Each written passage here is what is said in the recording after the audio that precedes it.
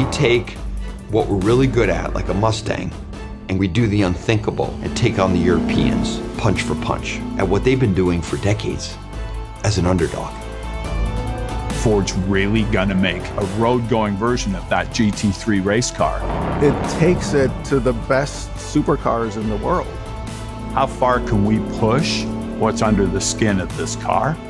This is a track monster. It'll make their jaws drop. All of that technology focused to go like hell. We were working with Ford Performance on a GT3 version of the new Generation 7 Mustang. We got 15% into that project. Jim Farley took a look at it. He goes, We need a road version of that. The vision for this is totally different than any high performance Mustangs we had. All the latest racing technology from our race car, but actually on the street. We've never left anything on the track. We've applied it to the street vehicle to develop what we think is the ultimate Mustang.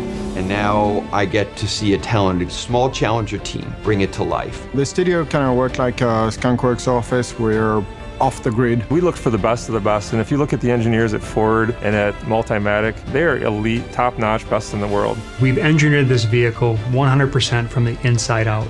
It's really formed for those function. It's got the power. It's got lightweighting. It's got big brakes. It's got big aerodynamics.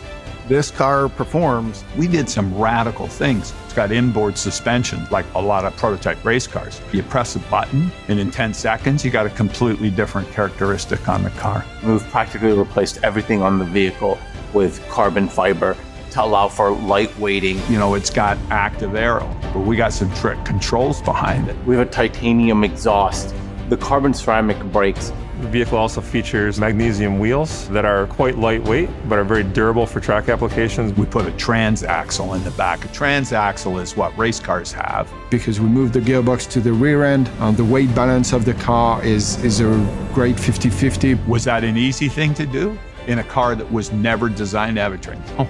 It was a smoking hard problem to solve. It's not a cosmetic package. Every component, every system was thought through, engineered. And you put all those building blocks together, you come out with a car that you know is going to be competitive in that space. It's not just strong in one area, it's an all around athlete. I mean, this product is a technological tour de force. People will be just massively surprised and blown away by what Ford actually went and did there. Mustang GTD is coming. This is a halo for the entire company.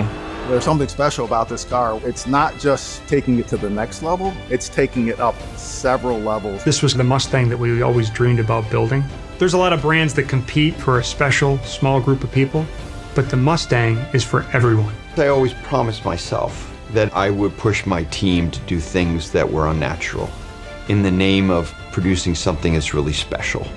That's why I care so deeply about this car, because it's been in my head for five decades. I want to see Porsche, I want to see Aston Martin, I want to see Mercedes sweat.